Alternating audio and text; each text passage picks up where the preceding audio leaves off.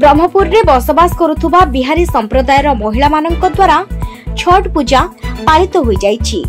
ଦୀପାବଳି ପର୍ବର ଛଅ ଦିନ ପରେ ଏହି ପୂଜା କରିବାର ପରମ୍ପରା ରହିଛି। ଛଟ୍ ପୂଜା ପାଇଁ ବ୍ରହ୍ମପୁରରେ ବସବାସ କରୁଥିବା ବିହାରୀ ସମ୍ପ୍ରଦାୟର ଲୋକମାନଙ୍କ ମଧ୍ୟରେ ବେଶ୍ ଉତ୍ସାହ ଦେଖିବାକୁ ମିଳିଥିଲା। ପରିବାରର ସୁଖ ଓ ଶାନ୍ତି କାମନା କରି ବ୍ରତଧାରୀ ମହିଳାମାନେ ଅସ୍ତଗାମୀ ସୂର୍ଯ୍ୟଙ୍କୁ ଅର୍ଘ୍ୟ ପ୍ରଦାନ କରିଥାନ୍ତି।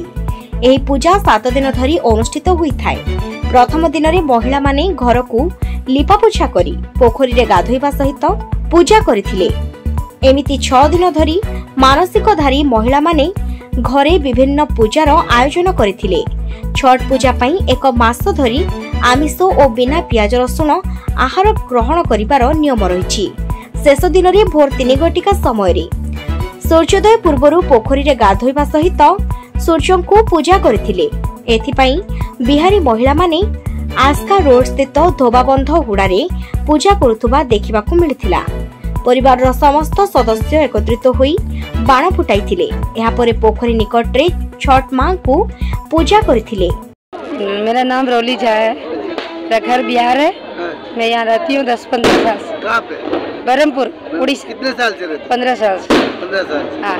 ये छठ पूजा का कितना साल से आप बना रहे हैं? छठ पूजा तो जब से मैं पैदा हुई तब से मैं देख रही हूँ। यहाँ से कब से बना रहे यहाँ तो मतलब सात आठ साल हो गया।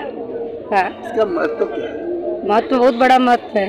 अब अब जो मांगेंगे वो मिलेगा। इतना बड़ा महत्व है कि आप छठ पूजा होता है? ये कार्तिक महीना में होता है कार्तिक मास। अमावस्या हाँ। के बाद।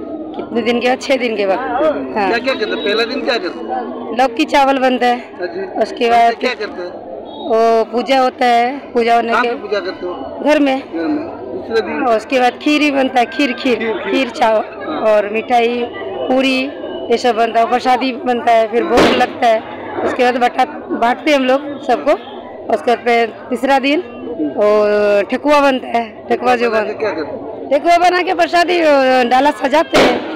और सजा के उसके बाद यहाँ पर आते हैं छठ घाट। मतलब? घाट बरहमपुर घाट। तालाब में। आते हैं। आके क्या करते हो? सूर्य भगवान का अर्घ देते हैं। आज छठ पूजा हो रहा है। आज कितने दिन रहे आज चार दिन हो गया। चार हाँ। कब से बना रहे छठ पूजा? जब से हम लोग हम लोग परंपरा चल रहा है बहुत दिन से छठ पूजा कार्तिक मास का शुभ होता है। उस एक महीना मांस मच्छी नहीं खाते हैं। इस पर्व बहुत धूमधाम से मनाया जाता है। इस पर्व को बहुत महत्व है। इस पर्व को चार दिन उपासना रहते हैं। चार दिन उपासना से हम लोग डूबते डूबते सूरज को अर्घ देते हैं, उगते सूरज को अर्घ देते हैं। हम लोग जो भी मन्नत मुकामना करते हैं, कोई भी हो, कोई भी हो, जो भी धर्म के मन्नत भी करे, वो मन्नत पूरा होता है। जो भी मांगे, वो मुकामना पूरा होता है।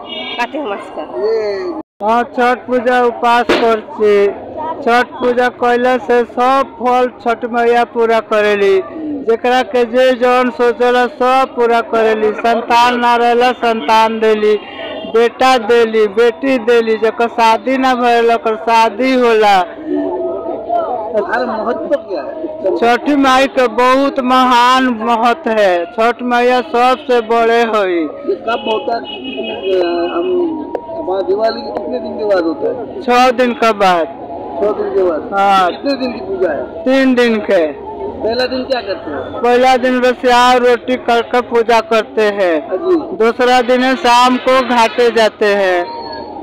तालाब के पास? हाँ, सातवा दिन में सूरज गोसाई के पूजा करके घर को लौट रहे हैं। तीन दिन में Ganjam Sunil Kumar Sahu report Odisha news room.